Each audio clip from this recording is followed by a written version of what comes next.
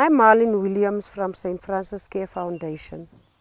We've started this thing 12 years ago by doing feeding schemes, looking after the AIDS, the abandoned and the abused.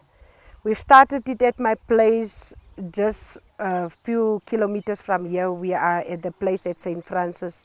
We got our own plot where we are staying and then we've started there. And then I had a vision to do this, to look after children. And I've started this six years ago. And um, I start, first started with 10 children. And then after that, the amount grew up to 52. And then today I got 52 kids. I have to support them on a grant of 1,200 Rand. And then my husband is my great source of help because many times he'll go out and then do a job for us so that we can live. And then also we are dealing with children that is very traumatized. Like for instance, they need to have medication, those that are raped, and the ones that are full-blown HIV for medication. And then I get up four o'clock in the morning to start with the first lot, taking them out. My husband is taking them out to school. And then if there's those of them that is supposed to go for hospital, my husband come and take them. And then I prepare the pap for the first one that goes six o'clock. And then after that, the other lot goes at seven o'clock.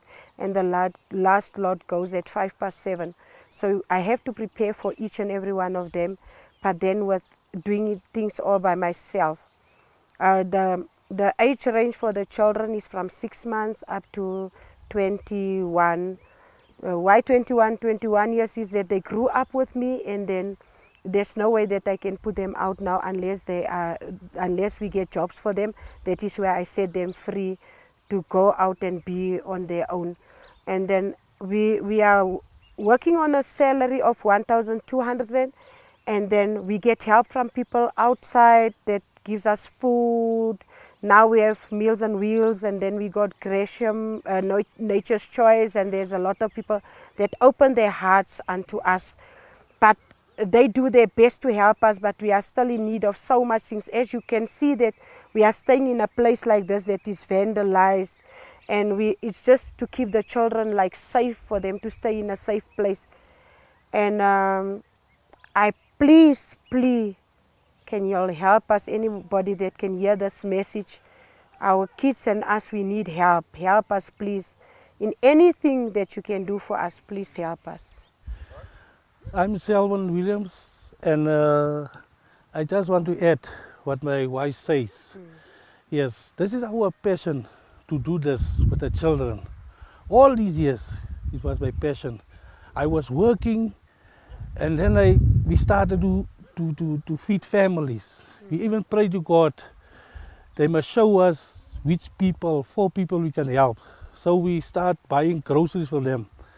And then one day my, my wife found a kid in the street and there they decided to open this place like a, a home for children.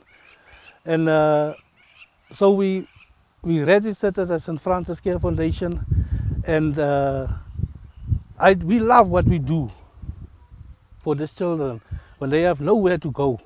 And there's yes, and and we lost everything. I put all my money into this, into in this, in this, into this ministry. When it's not a business, this is a ministry. It's here to make a difference in, in people's life. Like every morning, like now, I come from the clinic, take the children to the clinic to get the medicines and uh, the milk for the for the children, the one who is HIV positive. And every morning I woke up at 4 o'clock in the morning to take the children to different schools. And then I came back, then we could carry on with a, with a daily, daily basis. But I'm thankful to God that I can make a difference in somebody else's life. But we need help to do it. We can't do it by our own. We, we thought we can do it by our own, but we need help to to sustain this ministry. Please help us. Thank you,